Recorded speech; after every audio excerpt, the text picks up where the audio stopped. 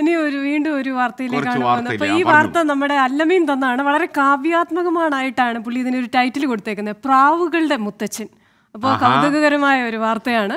കഴിഞ്ഞ പതിനേഴ് വർഷത്തോളമായി മിണ്ടാപ്രാണികൾക്ക് ആഹാരം നൽകുന്നതിൽ ആനന്ദം കണ്ടെത്തുകയാണ് തിരുവനന്തപുരം വഴുതക്കാട് സ്വദേശിയായ സത്യശീലൻ നായർ എന്ന എൺപതുകാരൻ.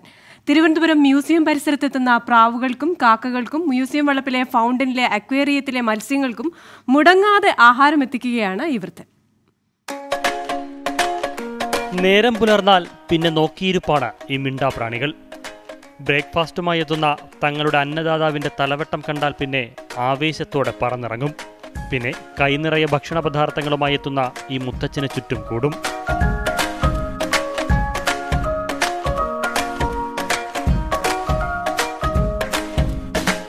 ഏഴിനും ഏഴരയ്ക്കും ഇടയ്ക്ക്. അതാണ് എന്റെ ടൈം അവരുടെ അവർക്ക് അതറിയാട്ടെ ഏഴര കഴിഞ്ഞാൽ പിന്നെ ഇവർ പിണങ്ങും. പിന്നെ ഞാൻ അവരെ മോളെ മക്കളെ വിളിച്ചാലേ എന്റെ കൂടെ വരുവുള്ളൂ അവർക്ക്.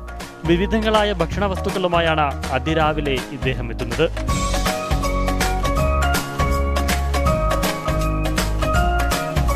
അരി ഗോതമ്പ് ബ്രെഡ് ബിസ്ക്കറ്റ് ചിലപ്പോൾ ഫൈവ് സ്റ്റാർ മുട്ടായി എക്ലെയർ എന്ന് വേണ്ട അത് വീട്ടിൽ തന്നെ കൊച്ചുമക്കൾ എന്തൊക്കെ വാങ്ങുന്നു അവർ അതൊക്കെ തന്നയക്കും. ഈ മിണ്ടാപ്രാണികളുടെ പ്രാർത്ഥനയാണ് എൺപതാം വയസ്സിലും തന്റെ ആരോഗ്യത്തിന് കാരണമെന്നാണ് സത്യശീലൻ നായരുടെ വിശ്വാസം. വയസ്സ് മെമ്പറായി ഞാൻ ഇന്ന ഇന്ന് നടക്കുന്ന ഇവരുടെയൊക്കെ പ്രാർത്ഥന കൊണ്ടാണ് കേട്ടോ. ഈ കാരണം ഈ അപ്പം വന്നാലേ ഞങ്ങൾക്ക് രാവിലെ ബ്രേക്ക്ഫാസ്റ്റ് കിട്ടുള്ളൂ. ആ ഒരു വിശ്വാസം അവർക്കുണ്ട്.